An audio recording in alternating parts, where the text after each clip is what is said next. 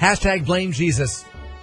Yeah, that's what this guy is doing. Um, he's, so this guy told police Yeah. or told the court, whatever, when he was arrested, that Jesus created wealth for everyone, Uh-huh. Right. And he was just taking his piece of the pie, Right. And that's why he taught himself banking and by trial and error how to make fraudulent wire transfers to his own bank Seven account. billion seven billion dollars. dollars worth.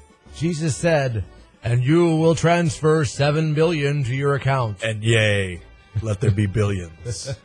Once he finished with Wing Wednesday, Yeah. he rolled into creation of money on Tuesday. and, and wire transfers. Right.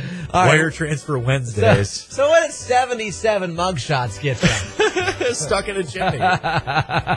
so police Yelling. Yeah, yeah, yeah. Okay, so so the managers of this place showed up. Right. Um, right, it's a store, right? Yeah. Yeah. So they showed up to find a guy yelling. He was stuck inside their chimney. Right. Well, by the time they got the store open, whatever, he was able to free himself, huck Take a brick at one of the employees, and then take off. And the police Right. finally caught up with him, and uh, They- I bet they they, didn't have well. to ask, uh, they didn't have to ask too many questions about the what the guy looked like because this guy had been arrested in the past seventy-seven times. Yeah. How do you get arrested 77 times and not go to jail? And, and not still be in jail. and not still be in I mean, you're pretty much in and out. How do you keep an apartment?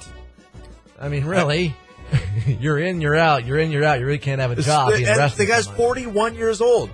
77 So- times in his 41 years. My God. That's like three, four times a year in your adult life. but I want to know how you do it so often, how you make your career out of getting arrested but not be in jail. You think at some point they just lock, You know what? lock you up? That's a question for Dr. Phil.